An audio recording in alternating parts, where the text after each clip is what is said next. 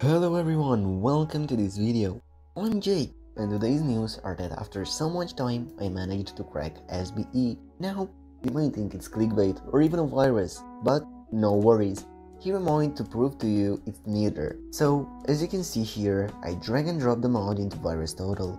If you live under a rock and don't know what VirusTotal is, VirusTotal is a website that helps you verify if a file is safe by scanning it into 70 different antivirus checks. As you can see the file is 100% safe. Now I will get the same file and drag and drop it into Mediafire, which of course has one more virus scan. Here you can see I didn't cut the link so you can be sure it's the same link as in the comment section too. Now, before showing you that the mod works, I have to mention a key factor for this and show you my mods folder.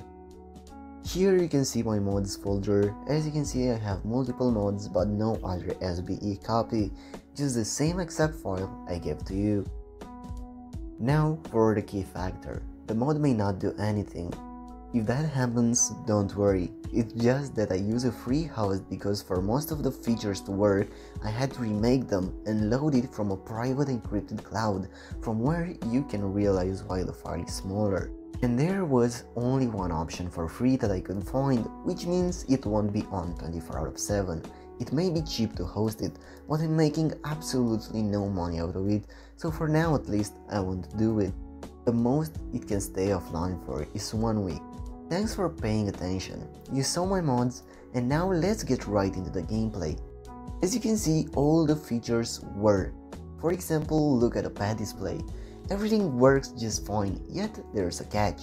I only managed to crack the standard $5 version of the mod, which has everything but a few mostly visual features.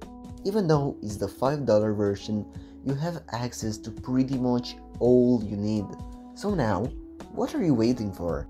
Go on and try the mod for yourself. The link is in the comment section down below and you can find the spaced version of it in the description too. Don't forget to leave your feedback on it. I'm waiting for your opinion.